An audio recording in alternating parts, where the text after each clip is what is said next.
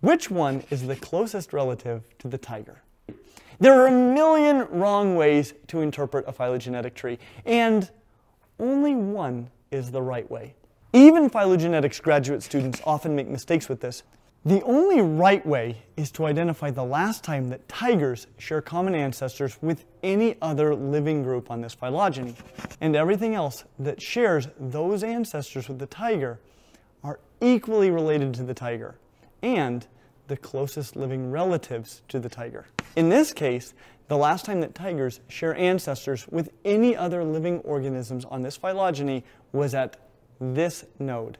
It shared those ancestors with both lions and leopards. Therefore, lions and leopards are both the closest living relatives to the tiger. Remember, when the ancestors of tigers split off from the ancestors of leopards and lions, there was no difference between the ancestors of leopards and the ancestors of lions.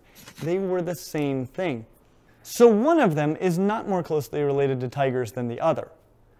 Leopards and lions are more closely related to one another than they are to tigers, because they share more recent common ancestors with one another than they do with tigers. But they are both equally related to tigers.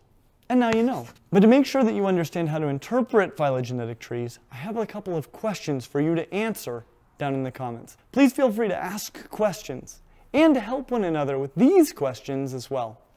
So first, looking at our phylogeny of lions, tigers, leopards, cheetahs, and grizzly bears, what are the closest living relatives on this phylogeny to cheetahs?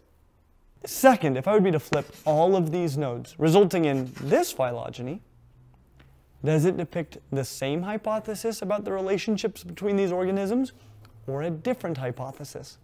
Again, please answer in the comments let's make sure we've all got this. If you've learned something today, please like this video. If you'd like to learn more about this topic and other topics in the future, please subscribe and click the little bell. And we hope to see you real soon.